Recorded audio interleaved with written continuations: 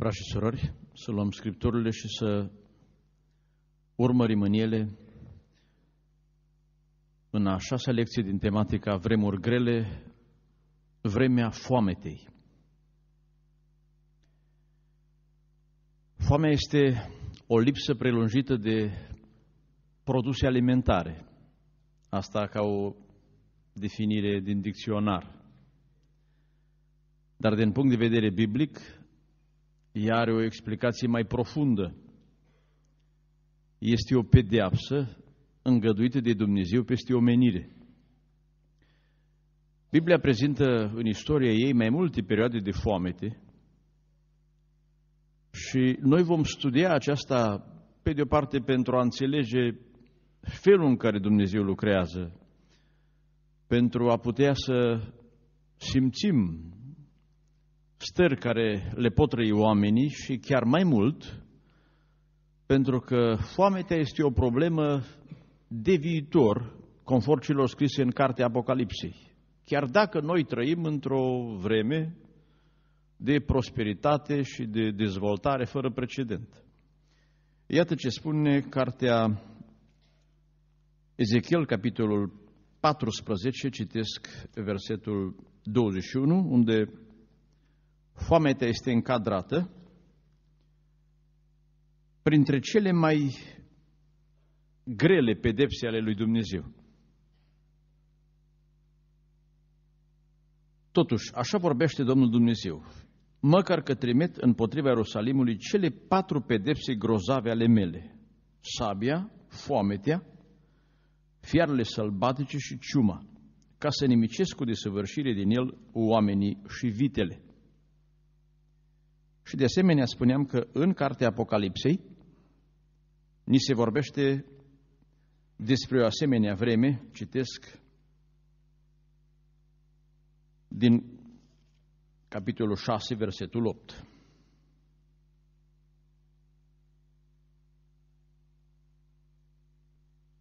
M-am uitat și iată că s-a arătat un cal gălbui. Cel ce sta pe el se numea moartea și împreună cu el venea după el locuința morților. Li s-a dat putere peste a patra parte a pământului, să ucidă cu sabia, cu foamete, cu molimă și cu fiarele pământului. Așadar, aceste patru pedepse prezentate în Vechiul Testament se regăsesc până la sfârșitul istoriei omenirii. Într-o primă parte vom trece în revistă câteva perioade de foamete din Scripturi, mai întâi din Vechiul și apoi din Noul Testament și într-o a doua parte vom încerca să găsim împreună din Scripturi câteva explicații despre foamete.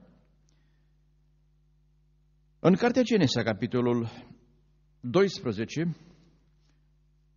întâlnim o primă foamete din uh, vremea lui Avram, o foamete în Canaan, scrie aici, la pagina 12, de la versetul 10. A venit însă o foamete în țară și Avram s-a pogorât în Egipt ca să locuiască pentru câteva vreme acolo, că cerea mare foamete în țară. Deci, chiar și el, un om bogat, a fost afectat de foamete. Dar se vede că a fost doar într-o țară, iar în alta era încă belșug sau cel puțin suficient pentru supraviețuire. Dar, pogorându-se în Egipt, a fost scăpat și scrie în capitolul 13 că acolo n-a suferit, s-a suit iarăși în țara de la miază zi, și era foarte bogat în vite, în argint și în aur. În capitolul 26 din Cartea Genesa întâlnim o altă foamete, o generație mai târziu, pe vremea lui Isaac, versetul 1, în țară a venit o foamete, afară de foametea din tâi care fusese pe vremea lui Avram. Isaac s-a dus la Abimelec, împăratul filistenilor, în Gerar. Poate suntem unii care știm de foame doar din uh, relatările părinților noștri, care sunt mai bătrâni. Dar asta nu e exclus ca și generația noastră să nu întâlnească așa ceva. Însă și aici, citim în capitolul 12, prin mutarea dintr-un loc într-altul, Isaac a fost binecuvântat, evident nu doar prin mutare, ci prin purtarea de grijă a lui Dumnezeu, scrie de la versetul 12 până la 14. Isaac a făcut semănături în țara aceea și a strâns rod însutit în anul acela, căci Domnul l-a binecuvântat. Astfel omul acesta s-a îmbogățit și a mers îmbogățindu-se din ce în ce mai mult, până ce a ajuns foarte bogat.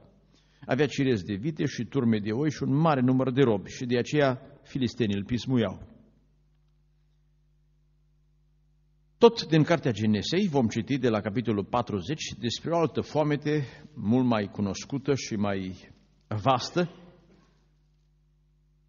De data aceasta, foametea s-a extins peste tot. Citim mai întâi în capitolul 41, de la versetul 25, înainte de a veni, au fost date lui Faraon vise, lui Iosif tălmăcirile. Iosif a zis lui Faraon, ce a visat Faraon înseamnă un singur lucru. Dumnezeu a arătat mai dinainte lui Faraon ce are să facă. Citim de la versetul 29. Iată, vor fi șapte ani de mare belșug în toată țara Egiptului. După ei vor veni șapte ani de foamete așa că se va uita tot belșugul acesta în țara Egiptului și foametea va topi țara. Foametea aceasta care va urma va fi așa de mare că nu se va mai cunoaște belșugul în țară. Potrivit cu spusele lui Iosif, după lumina venită de la Domnul, scrie apoi de la versetul 47 la 49, cum s-au făcut provizii și Iosif a strâns grâu ca nisipul mării, atât de mult că au încetat să-l mai măsoare, pentru că era fără măsură. Așadar, așteptau foamea cu hambarele pline. Asta nu înseamnă că visul n-avea să se împlinească. Vacile cele slabi au înghițit pe cele grase și tot slabe au rămas. Pentru că scrie apoi aici, de la versetul 53, cei șapte ani de belșug au trecut și au început să vină cei șapte ani de foamete, așa cum vestise Iosif. Versetul 57. Și din toate țările venea lumea în Egipt ca să cumpere grâu de la Iosif, căci în toate țările era foamete mare. Așadar, n-a fost doar o foamete locală, ci s-a extins și în Asia, și în Africa. Nu știm câtă cuprindere a avut.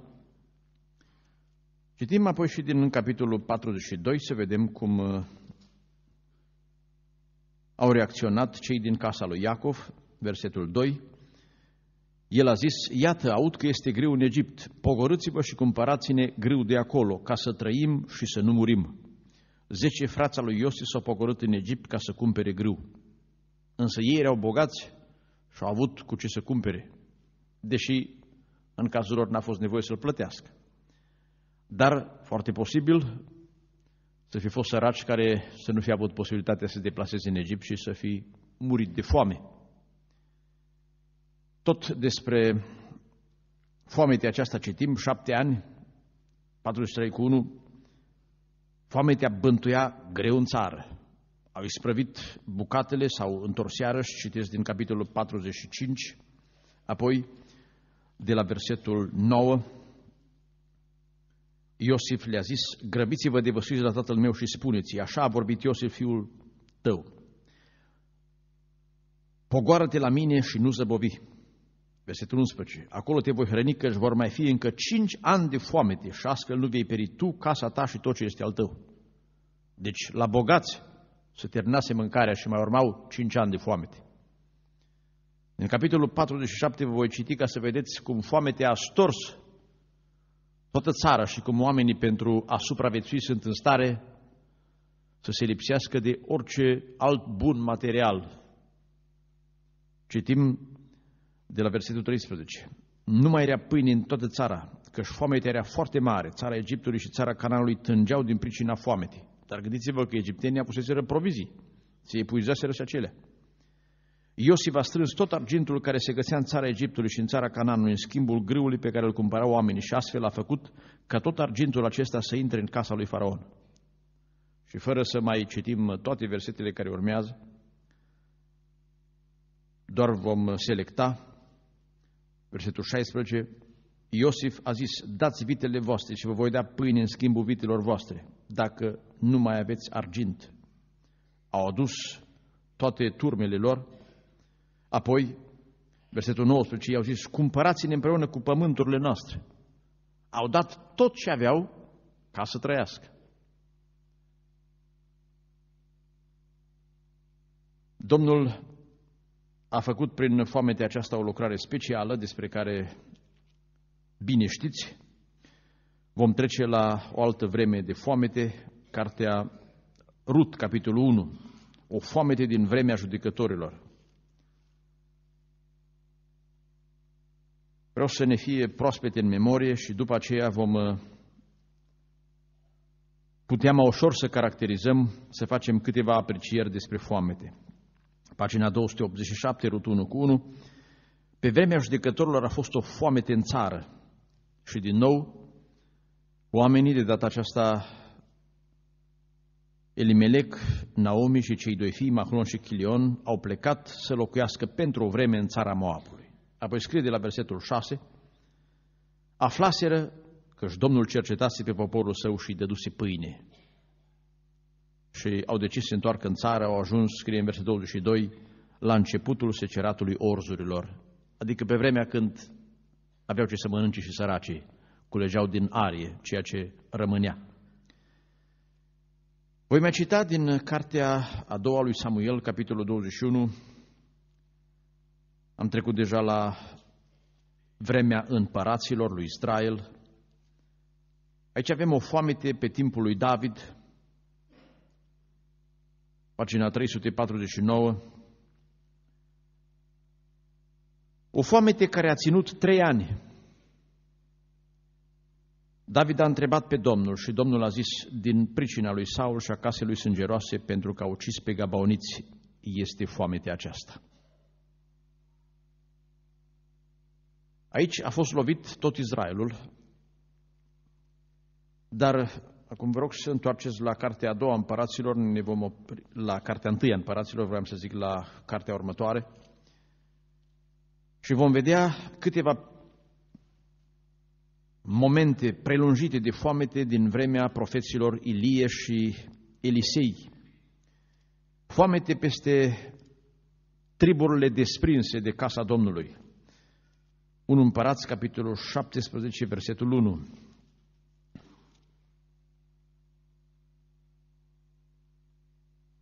Ilie Tishbitul, unul din locuitorii Galatului, a zis lui Ahab, Viu este Domnul Dumnezeului Israel, al cărui slujitor sunt, că în anii aceștia nu va fi nici rouă, nici ploaie, decât după cuvântul meu. Vă dați seama cât de urgent a venit foamete dacă și roa a lipsit. Iar în capitolul 18 scrie în ce condiții i-a adus foametea, citim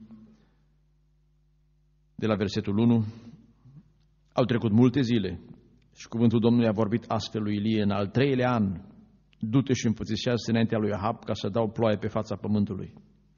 Și Ilie s-a dus să înfățișeze înaintea lui Ahab și era mare foamete în Samaria. Și vom cita și din a doua carte a împăraților din vremea lui Elisei, capitolul 4, versetul 38, să vedeți bieții oameni ce făceau în timp de foamete. Elisei s-a dus la Gilgal și în țară bântuiau foamete. Pe când fiii prorocilor ședeau înaintea lui al slujitorului său, pune oală cea mare și fierbe o ciorbă pentru fiii prorocilor. Unul din ei a ieșit pe câmp să culeagă verdețuri și a găsit viță sălbatică și a cules din ea curcubete sălbatice până și-a umplut haina. Deci mâncau ceea ce găseau prin pădure, am putea spune, ceea ce mai era încă verde. Dar parcă cel mai crunt este în capitolul 6 de la versetul 24. După aceea, Ben-Hadad, împăratul Siriei, strângându-și toată oștirea, s-a suit și a împresurat Samaria. În Samaria a fost o mare foamete și atât de mult au strâmturat-o, încât un cap de măgar prețuia 80 de sicle de argint și un sfert de cap de găinați de porumbel 5 sicle de argint.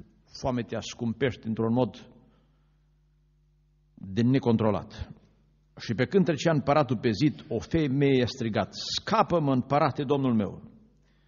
El a răspuns, dacă nu te scapă Domnul, cu ce să te scap eu? Cu venitul arii sau al teascului? Și împăratul i-a zis, ce ai? Ea a răspuns, femeia aceea mi-a zis, dăm pe fiul tău să-l mâncăm astăzi și mâine vom mânca pe fiul meu. Noi am fiert pe fiul meu și l-am mâncat și în ziua următoare am zis, dă pe fiul tău să-l mâncăm, dar ea a ascuns pe fiul ei. Când a auzit împăratul cuvintele acestei femei și-a rupt hainele, când stătea pe zid, și poporul a văzut că pe dinăuntru avea un sac de păr pe trup. Gândiți-vă până unde îi poate duce foametea pe oameni. Dar Dumnezeu a vestit prin Elisei, din capitolul 7, versetul 1, așa vorbește Domnul. Mâine, de ceasul acesta se va vinde la poarta Samarie o măsură de floare de făină cu un ciclu și două măsuri de ors cu un ciclu. Și gândiți-vă cum au năvălit oamenii din cetate când au aflat că este mâncare, cum s-au trezit noaptea din acele nopți în care visau că mănâncă și se sculau flămânți, încât au călcat în picioare pe ordonanța împăratului și au năvălit în tabăra sirienilor unde erau provizii, merinți. Citim și de pe pagina din dreapta 8 cu 1. Elisia a zis femeia pe care o fiu înviase, scoală-te și du-te tu și casa ta și locuiește pentru o vreme unde vei putea. Căci Domnul va trimite o foamete de șapte ani peste țară și foametea a și început. Ani la rând. Voi trece și în Noul Testament și voi cita din uh, Evanghelia după Luca, capitolul 15,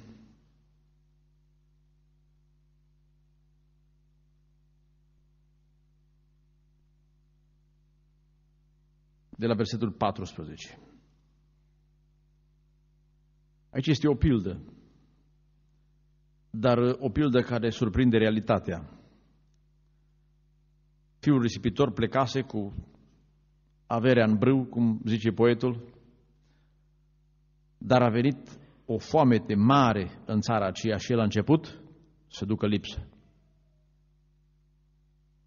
Iar o situație concretă, nominală, o avem în Cartea Faptele Apostolilor, capitolul 11, de la versetul 27, o foamete de proporții.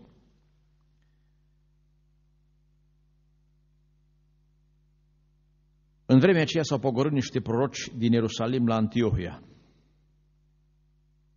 Unul din ei, numit Agab, s-a sculat și a vestit prin Duhul că va fi o foamete mare în toată lumea. Și a și fost, în adevăr, în zilele împăratului Claudiu. Eu v-am citat doar câteva momente surprinse de Scripturi, momente de ani de foamete. Sunt și altele. De exemplu, și profetul Ieremia a trăit o vreme de foamete înaintea căderii Ierusalimului.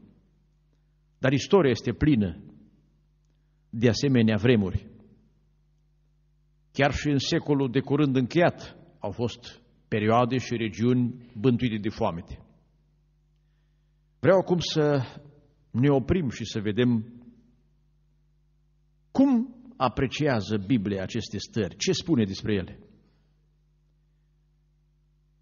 Sunt două stări de foamete, două cauze. S-ar putea să fie foamete sau a fost foamete în unele situații datorită calamităților naturale, secetă prelungită, inundații sau alte distrugeri ale culturilor. Astfel de vrem de foamete sunt cauzate direct de Dumnezeu și oamenii nu pot să facă nimic. Se întreba profetul Ieremia, este oare vreunul din Dumnezeu neamurilor care poate să dea ploaie? Nu i-a lovit Dumnezeu la cererea lui Ilie, pentru că ei credeau că Bal este un zeu care se ocupă de agricultură și Dumnezeu a dovedit că El este stăpân pe natură și omul este determinat, omul este legat și depinde total de binecuvântarea pământului. Omul e luat din pământ și trăiește după pământ. Și când Dumnezeu își retrage mâna, tot suferă, cu animale cu tot. Este scris în profeți, sunt mai multe perioade de foamete, că și animalele sălbatice strigau, mureau de foame.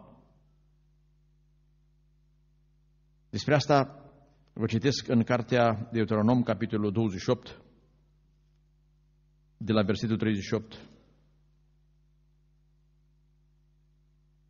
Pot să ajungă la foamete nu doar cei care locuiesc în deșert, ci și oameni dintr-o țară prosperă, cu mult pământ arabil și fertil. Vei semăna multă sămânță pe câmpul tău și vei strânge puțin, căci o vor mânca toate lăcustele. Vei sădi vii și le vei lucra, dar nu vei bea vin. Nu vei culege, căci o vor mânca viermi. Vei avea măslin pe toată întinderea țării tale și nu te vei unge cu un dilem, căci măslinile vor cădea. Versetul 42. Omizele îți vor mânca toți pomii și rodul pământului. Iată cum, pe lângă cele efectiv directe, secetă și acești dăunători naturali pot să afecteze întreaga recoltă. Și nu mai rămâne nimic. Pentru că oamenii trebuie să știe că a semăna și a strânge rod e un har și o binecuvântare de la Dumnezeu. Nu-i ceva normal. Pământul nu-i fabrica noastră în care să băgăm materie primă și să scoatem produse.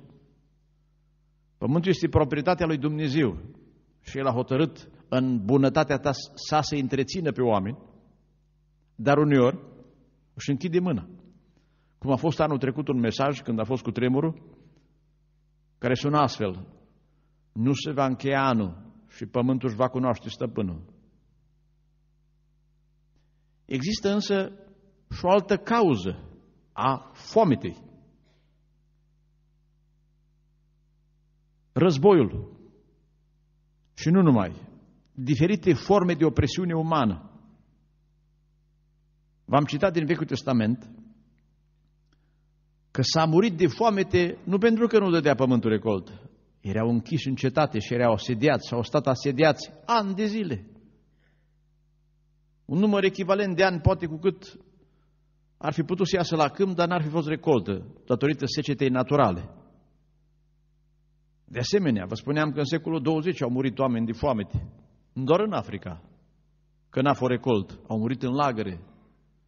Și arătau ca cei din Africa. Oameni care erau întreținuți în pușcării, în mod special în lagăre de concentrare, încât poate intra în închisoare cu 100 de kilograme și murea când mai avea 40, poate nici atât. Personal am uh, fost la Mauthausen, un lagăr de lângă Linz, unde și acolo au fost arși oameni și au fost uh, ținuți în subnutriție până când au murit, te îngrozesc imaginile de acolo, cum arată oamenii. Sunt numai niște, niște oase lepădate. Despre asta citim tot de aceea din Deuteronom, capitolul 28, de la versetul 50. Un neam cu înfățișare sălbatică și care nu se va sfi, de cel bătrân nici nu va avea milă de copii. El va mânca rodul turmilor tale și rodul pământului tău. Nu că n-are pământul rod în asemenea situații. Până vei fi nimicit, nu-ți va lăsa nici grâu, nici mus, nici un de lemn, nici viței de la vaș, nici miei de la oi, până te va face să pieri. Te va împresura în toate cetățile tale până îți vor cădea zidurile, aceste ziduri înalte și tare în care spusese încrederea pe toată întinderea țării tale. Te va împresura în toate cetățile tale, în toată țara pe care ți-o dă Domnul Dumnezeul tău. În strâmtorarea și necazul în care te va aduce vrăjmașul tău, vei mânca rodul trupului tău, carnea fiilor și fiicilor tale, pe care ți-i va da Domnul Dumnezeul tău. Omul cel mai jingaș și cel mai milos dintre voi se va uita rău la fratele său, la nevasta care se odihnește la sânul lui, la copiii pe care i-a cruțat. Ceva greu de povestit și de imaginat.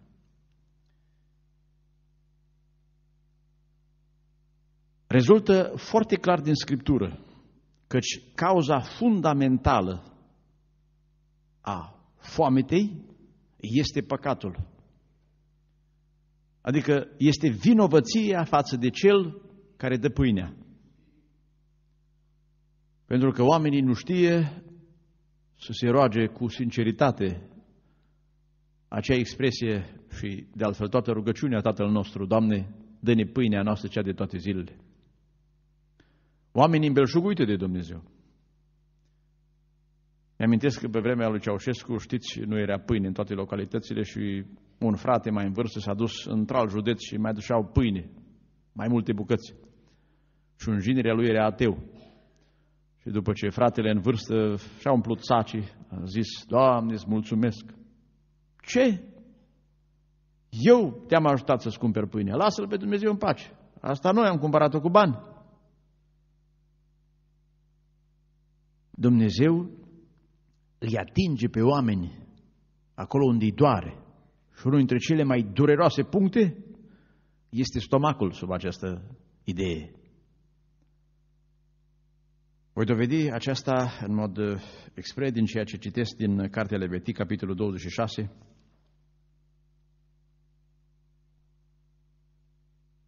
de la versetul 14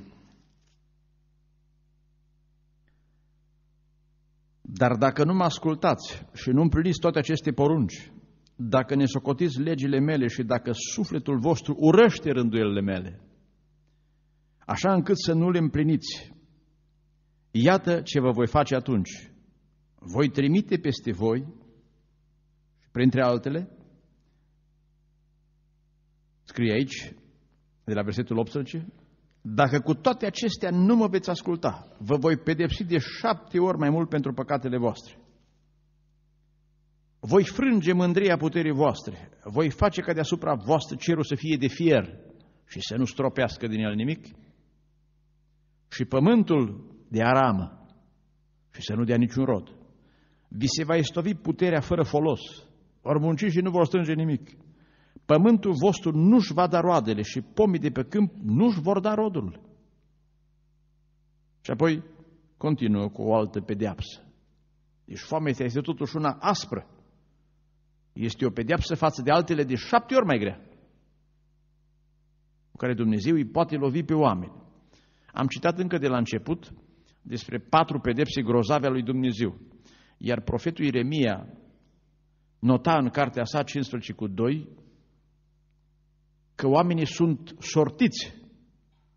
Adică unii urmează a fi pedepsiți cu foamete, alții cu sabie, cu boli sau să fie afectați de vietățile pământului.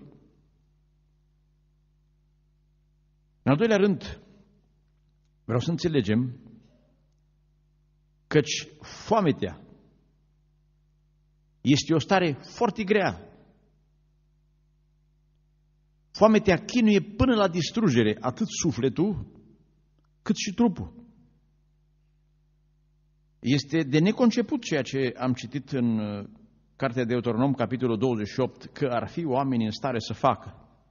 O mamă să-și mănânce copilul și să privească cu duritate și canibalism spre celălalt care încă este în viață. Ce înseamnă asta? Că a distrus simțămintele materne, căți termină mintea. Nu doar te deshidratează și te slăbește din punct de vedere fizic. Aici scria mai departe, de la versetul 56, femeia cea mai jingă și cea mai miloasă dintre voi. Deci, nu una sadică, o femeie dură, cea mai fină, care de jingășă și miloasă ce era nu știa cum să calce mai ușor cu piciorul pe pământ, va privi fără milă pe bărbatul care se odihnește la sânul ei, pe fiul și pe fica ei și nu le va da nimic din ceea ce va consuma. E greu de realizat. Dar cazul care vi l-am citat din a doua carte a împăraților, capitolul 6, atestă că și împăratul a rămas șocat și totuși una din acele femei mai rămânsese cu un simțământ matern, cealaltă doar să devoreze. De asemenea, citesc din cartea Plângerile Remia, capitolul 4,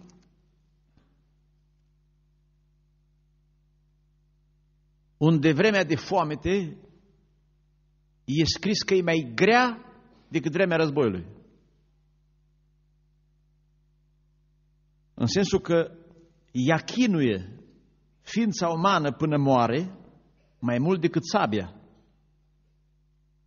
Scrie aici de la versetul 9. Cei ce pierd uciși de sabie sunt mai fericiți decât cei ce pierd de foame.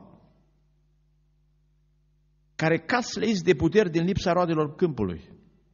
Femeile cu toată mila lor își fier copiii care le slujesc ca hrană în mijlocul prăpădului fiicii poporului meu. Nici nu știu, din punct de vedere medical, cât ar rezista omul și, de asemenea, nu știu exact când începe a se puțina alimentele, cu ce raționalizare le-ar consuma oamenii, dar bănuiesc că atunci când începe a se termina, oamenii încep a-și pierde mintea. Și nu numai că sunt în stare să dea tot ce au ca să cumpere mâncare, dar sunt în stare să facă orice alte lucruri abominabile. Tot despre foamete putem să înțelegem din Scripturi că ea are un mandat precis de la Dumnezeu. Dumnezeu are un scop și El oferă informații chiar dinainte. El este gata să le vorbească oamenilor, să le spună ce ar avea de făcut ca foametea să înceteze. Vă voi cita din Scriptură aceste aspecte care sunt foarte importante, pentru că Dumnezeu are explicații. Dacă ați luat aminte, recitesc 2 Samuel 21 cu 1, scrie aici că a fost o foamete de trei ani. Poate unii au pus-o pe seama, știu eu ce, calendare astronomice, că așa se repetă foametea din când în când. David însă a întrebat pe Domnul, Doamne, de ce e foamete? Și Domnul i-a răspuns. Din pricina lui Saul și a casei lui sângeroase pentru că au ucis pe gabauniți este foamete aceasta. Pentru că nu-și păstraseră legământul de a nu-i ucide pe gabauniți. Ei trebuiau doar să fie robi. Și a fost nevoie, scrie în versetele următoare, la cererea gabauniților, să spânzure mai mulți urmași de-a lui Saul, și scrie în finalul versetului 14, după aceea Dumnezeu a fost potolit față de țară. Deci Dumnezeu și era supărat pe ei. Putea să recurgă la o altă pedeapsă. Dar asta a ales-o Dumnezeu. Că nu întotdeauna se întâmplă ca și în capitolul 24 din aceeași carte, ca Dumnezeu să te pună să alegi ce pedeapsă să vină.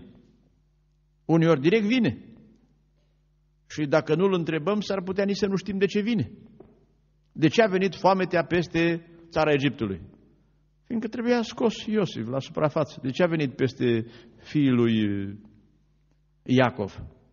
Fusese descoperirile de mult din copilărie, că snopilor se va înclina și le se va terna pâinea și trebuie să închine la snopul altuia. Egiptenii l-au ținut pe Iosif în temniță. Ei au vinovat și față de el. Evreii de asemenea. Scrie aici de la versetul 10 că David, după ce a păcătuit, s-a simțit mustrat de conștiința lui. A simțit cum îi bătea inima. Și a zis Domnului, am săvârșit un mare păcat făcând lucrul acesta acum. Doamne, binevoiește și iartă nelegirea robului tău, căci am lucrat în totul ca un nebun, făcuse numărătoare. A doua zi când s-a sculat David, cuvântul Domnului a vorbit astfel prorocului Gad, văzătorului David. Du-te și spune lui David, așa vorbește Domnul, îți spun înainte trei nenorociri, alege una din ele și te voi lovi cu ea. Gad s-a dus la David și a făcut cunoscut lucrul acesta zicând, vrei șapte ani de foamete în țara ta? Sau să fugi trei luni dinaintea vrăjmașilor tăi care te vor urmări? Sau să bântuie ciuma trei zile în țară? Acum alege și vezi ce trebuie să răspund celui ce mă trimite. Știți că David a zis să cadă în mâinile Domnului. N-a ales foametea. E grea. pentru numărătoarea aceea greșit făcută, șapte ani de foamete. Parcă noi privim ca oameni, am zice că e cam grea pedepsă. Dar uite că așa a decis Dumnezeu. Că și în țara unde s-a dus fiul risipitor, nu cred că s-a dus foametea degeaba. Dumnezeu a trimis-o ca să-l fugărească acasă. Din cele care le-am citit, se desprind explicațiile foarte clare în privința scopului. V-am spus deja în parte de ce a fost foamete pe vremea lui Ilie. Fiindcă el i-a adunat în final, și voi citi din cartea întâi a împăraților, capitolul 18,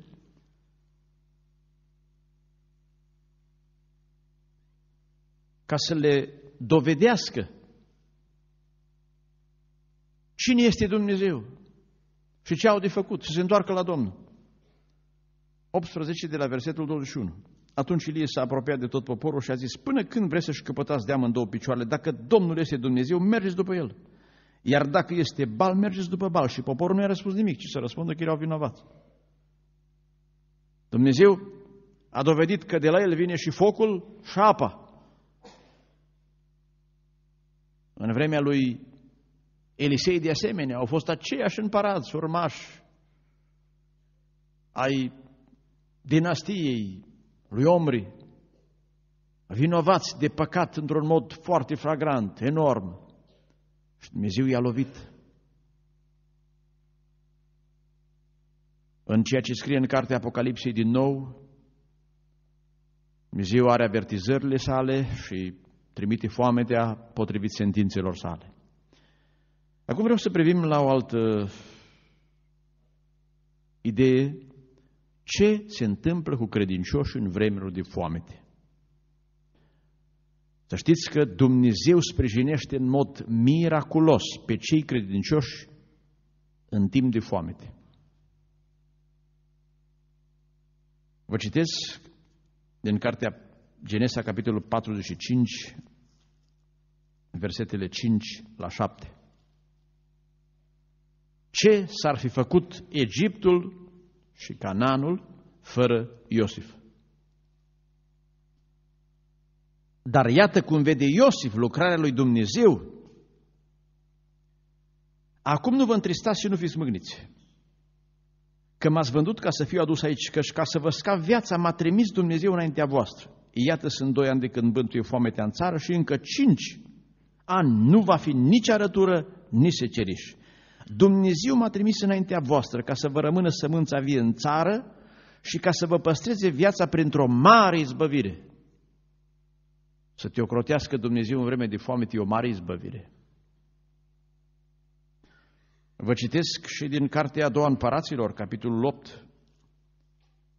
Și vreau să vă amintiți că femeia aceea din Sunem ocrotise pe Elisei în casa ei, îl hrănise, îl găzduise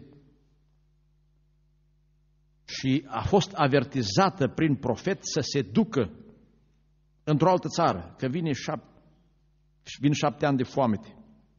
A plecat, versetul 3, după șapte ani femeia s-a întors din țara filistenilor și s-a dus să roage pe împărat pentru casa și ogorul ei.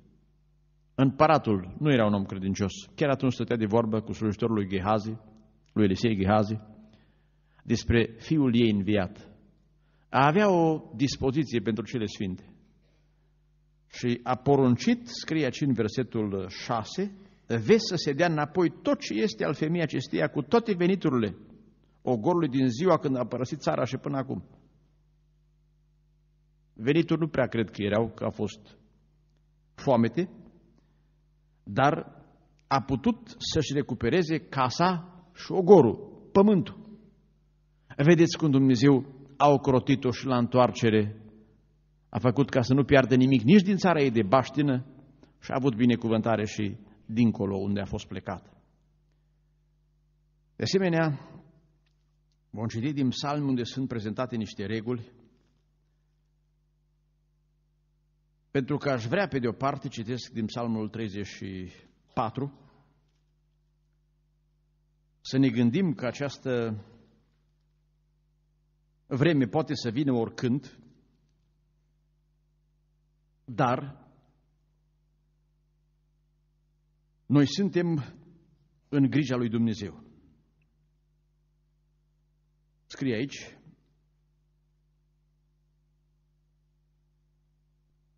în versetul 9, Temeți-vă de Domnul, voi, sfinții Lui, căci de nimic nu duc lipsă, ci ce se tem de El. Pui de leu duc lipsă și li foame, dar cei ce caută pe Domnul nu duc lipsă de niciun bine. Și pe aceeași pagină, capitolul 33, versetele 18 și 19. Dacă va veni peste cineva sau peste noi până vom trăi, să subliniem versetele astea două. Iată, ochiul Domnului privește peste cei ce se tem de El peste cei ce ne dăjduiesc în bunătatea Lui, ca să le scape sufletul de la moarte și să-i țină cu viață în mijlocul foametei. Pe unii Dumnezeu i-a mutat în altă țară unde era pâine, pe alții i-a întreținut acolo în mijlocul foametei. În Ierusalim, conform 2 împărați 25, era mare foame în timpul împresurării de către babilonieni. Știți că împăratul a rânduit ca Ieremia să aibă o pâine în fiecare zi în, din ulița brutarilor până s-a terminat pâinea din cetate. Și când s-a terminat, au fost cuceriți de babilonieni. Și l-a primit mai departe darul de la împărat.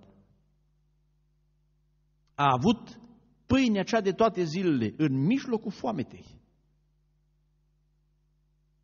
Tot din psalm citesc 37 cu versetul 18 și 19.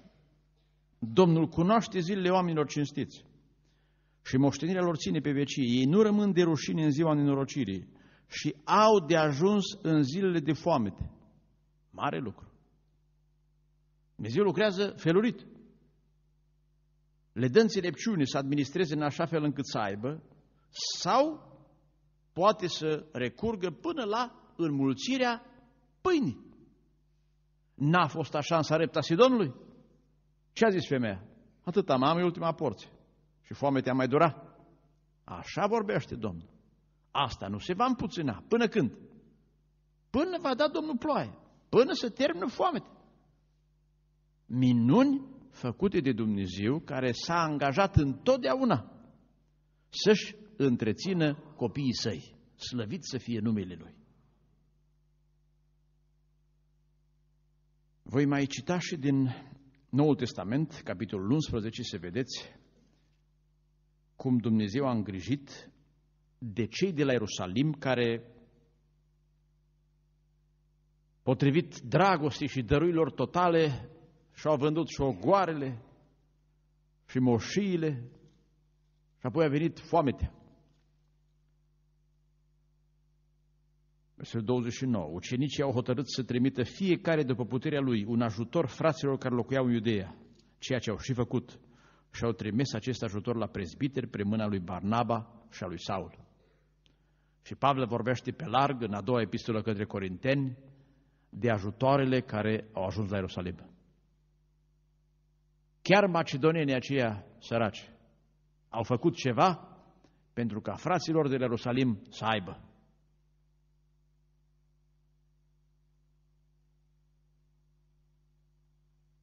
De asemenea, mai facem o precizare. Cred că ați observat că noi am vorbit de foamete care se extinde pe perioada câțiva ani. Nu constituie foamete, ca și vremuri de foamete, lipsuri din astea de pe o zi pe alta. Nemulțumiri din astea ca la evrei. Exod capitolul 16. O să murim de foame în pustie. N-a fost vorba de muri de foame. A fost vorba de foame numai. Foame ți se face până la amează. A murit de foame înseamnă să n-ai cu lunile sau cu ani și să fii nevoit să-ți vânzi casa și să-ți dai ce alte bunuri materiale. Astea sunt mici încercări în care putem fi prinși și chiar unii dintre noi au trecut prin asemenea situații, când poate s-au culcat seara fără să aibă pâine la copii. Acestea se încadrează la ceea ce scrie în Deuteronom, capitolul 8, situații prin care pot să treacă și credincioși. Citesc de la versetul 2. Adu-ți aminte de tot drumul pe care te-a călăuzit Domnul Dumnezeul tău în timpul acestor 40 de ani în pustie, ca să te smerească și să te încerce, ca să-ți cunoască pornile inimii și să vadă dacă ai să păzești sau nu poruncii lui. Astfel te-a smerit, te-a lăsat să suferi de foame. De așa, de pe o zi pe alta. Te-a hrănit cu mană pe care nici tu nu o cunoșteai și nici părinții tăi nu o cunoscuseră, ca să te înveți cum nu trăiește numai cu pâine, ci cu orice lucru care iese din gura Domnului trăiește omul. Haina nu s-a învechit pe tine și nici nu s-a umflat picioarele în timpul acestor 40 de ani. Recunoaște dar în inima ta că Domnul Dumnezeul tău te mustră, cum mustră un om pe copilul lui. Deci au fost măsuri foarte, foarte ușoare, așa luate de la o zi la alta. Prin asemenea stări a trecut și Apostolul Pavel, el descrie în epistola a doua către Corinteni, capitolul 11, în versetul 27, că foamea era la ordinea zilei, printre alte nevoi, în osteneli, în necazuri, în priveghiuri, adesea, apoi în foame și sete. Și evreii au răbdat seteta. Nu i-a lăsat Dumnezeu până să se deshidrateze. În posturi adesea, în frig și lipsă de îmbrăcăminte, nevoi de toate zilele, cu care Dumnezeu ne poate testa. Sunt și la acestea cauze, fie teste, fie urmarea unor păcate. Că nu degeaba scrie în Proverbe 25 că dacă vrăjmașul tău e foame, Păi dacă este vrăjmaș, înseamnă că e rău, nu? Că altfel n-ar fi vrăjmaș. Și dai tu pâine. Și dai și apă. De asemenea, scrie în Isaia 58, când postim, să avem în vedere aceste nevoi. S-ar putea să fie oameni lipsiți, știu eu, până ia salarul, până se adună recolta. A fost o toamnă de secetă, dar nu ani de foamete. Să-i ajutăm. Atunci va fi postul nostru și cererea lui bine primit înaintea Domnului, Isaia 58, versetele 7 și 10. Să nu uităm dacă vom fi gata să ajutăm pe oameni în aceste mici nevoi și cu atât mai mult în cele mari, dacă ar fi vorba de foamete, să putem trimite dintr-o parte într-alta și oamenii de lume se ajută dintr-o țară într-alta, cu atât mai mult noi credincioși, cum spune în tit, trebuie să fim cei din tâi în fapte bune. Dacă vom avea în vedere pe cei cu nevoi, spunea Mântuitorul în Matei 25 că vom fi răsplătiți. Scrie aici, în versetul 42, că ce am fost flământ și mi-ați dat să mănânc. Cine au fost flămânți? Credincioși. Dumnezeu i-a îngrijit dacă ar fi fost ani de foamete. Dar stări din astea scurte trec și peste noi.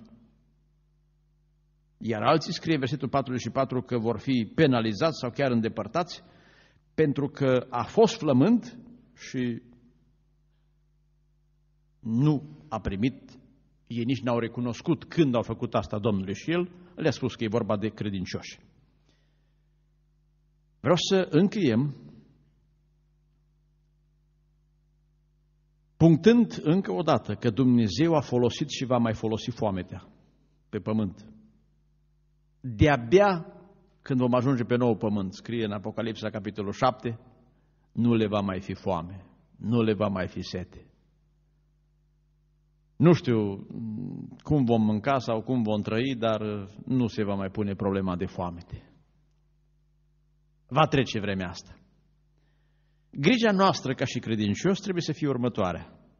Până ai cât să te poți gospodări și să ai pâinea ce ai toate zilele, sau până ai bogăție, fii neprihănit și darnic. Și în rest, e grija lui Dumnezeu să îngrijească de tine. Până ai, fi neprihănit, că foamea e ca o pedeapsă, și fi darnic. Cum spune un frumos vers de cântare, dă din pâinea ta oricui. Și atunci când tu nu vei mai avea, o mie au să-ți dea ție. Aruncă spâinea pe ape și după multă vreme o vei găsi. Și încheiem cu psalmul 112 care deschie într-un mod atât de bogat. Cum să te porți Și cum să lași această vreme în grija lui Dumnezeu? Lăudați pe Domnul! Fericit de omul care se teme de Domnul și are o mare plăcere pentru poruncile lui. Deci să nu fie o povară poruncile Domnului, o mare pasiune.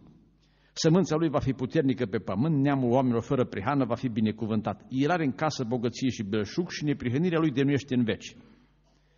Celui fără prihană îi răsare lumină în întuneric, el este milostiv, îndurător și drept. Ce bine merge omului care face milă și împrumută pe altul și care își rânduiește faptele după dreptate, căci el nu se clate niciodată, pomenirea celui neprenit ține în veci, el nu se teme de vejrele. Și inima lui este tare încrezătoare în Domnul. Inima este mângâiată, n-are nicio teamă, până ce își vede împlită dorința față de potrivnicii săi. El este darnic, dă celor lipsiți, milostenia lui ține în veci, capul lui se înalță cu slavă. Cel rău vede lucrul acesta și se mânie. Poftile celor răi rămân neîmplinite. S-ar putea să nu le fie împlinită nici pofta de mâncare, nici setea. Credincioșii, pentru că sunt vremuri grele despre așa ceva am vorbit, nu trebuie să fie cum au vrut evreii, că vrem și asta, vrem și cealaltă. Când sunt situații grele, Dumnezeu te ține în condiție de subzistență. Credincioșii sunt mulțumiți, ceilalți nu sunt mulțumiți. Poate nici când au. Credinciosul când are e mulțumit și îngrijește și de alții. Și el nu se teme de ceea ce va veni. Căci știe, cum spunea și Domnul Isus, nu vă îngrijorați cu privire la problema mâncării. Asta este grija lui Dumnezeu. O grijă să ne îmbrace și să ne alimenteze. Iar dacă trecem, cum spuneam, prin stări ușoare, să fim liniștiți că Dumnezeu îngrijește de noi la Lui să fie slava în veci. Amin.